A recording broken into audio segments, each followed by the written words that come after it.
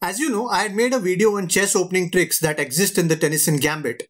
That video got more than 2 million views on YouTube. That was a short video so I was not able to cover all the different lines and variations. I was recently going through all the comments and realized there were a lot of common questions. So in this video, I will go through the Tennison Gambit in detail and along the way, I will try to answer all your questions. Plus, I will also show you all the different opening moves, tricks, ideas and strategies that you can use to win more games. So stay tuned till the end and keep watching Chess Talk.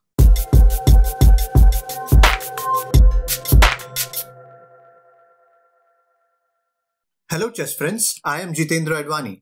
If this is your first time on this channel and you want to learn some cool chess tricks and become a better chess player, then start now by subscribing and clicking the bell so you don't miss any of my videos. Before we begin, I would strongly recommend that you try these opening tricks only on players rated below 1800.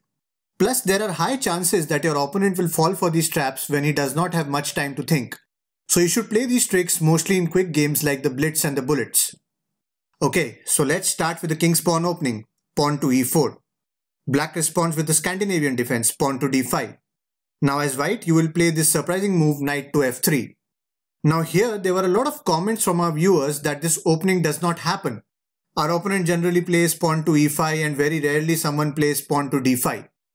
Well, let me show you another way in which you can get to this position. Let's start with the move knight f3.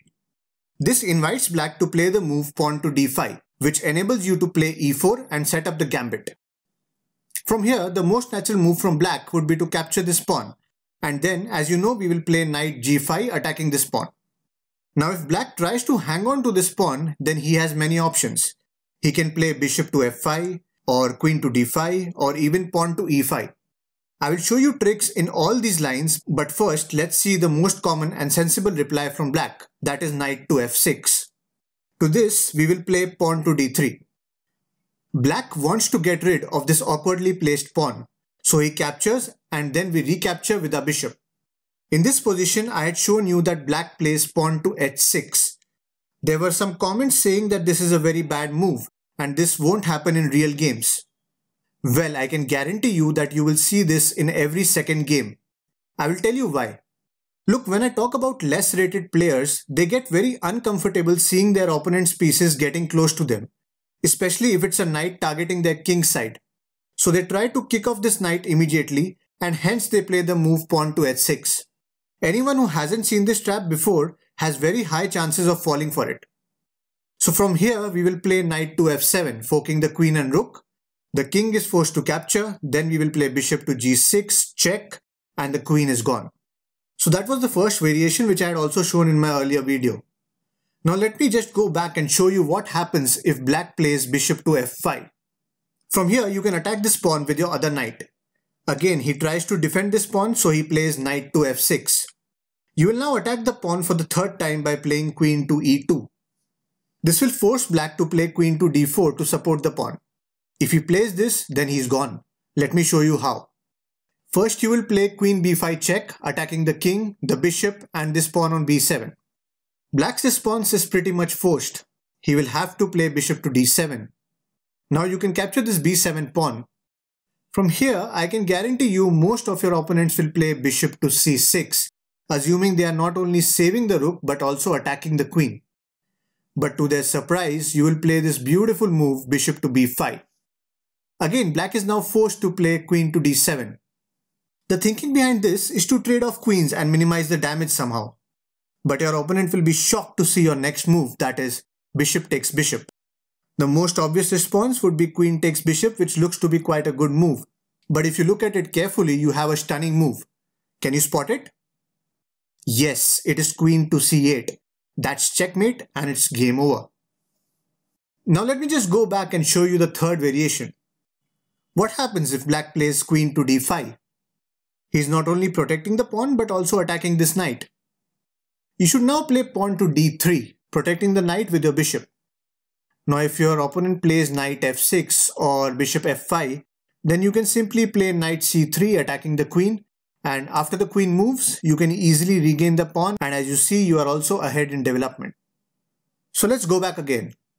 So that's why if black wants to retain any advantage, then he has to capture this pawn. Now once again we are going to capture with the bishop. Which looks very odd because you're giving away your g2 pawn.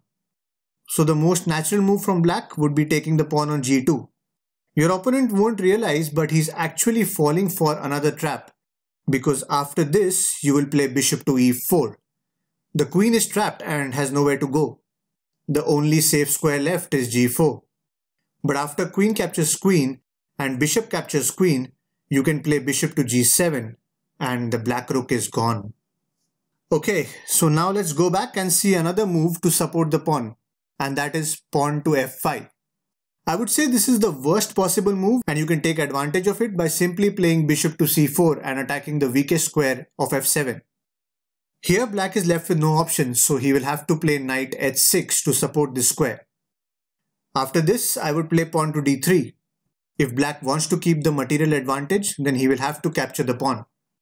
I would not be too concerned about this pawn so I will simply castle and get my rook involved. If black captures again you can take with your queen. What you're looking to do is to clear up the board and get more of your pieces involved in the game. You have your queen attacking this pawn, you have your bishop and knight eyeing down the f7 square, you can get your rook to attack along these open lines. Whereas if you see black's position, all his pieces are blocked and doing absolutely nothing.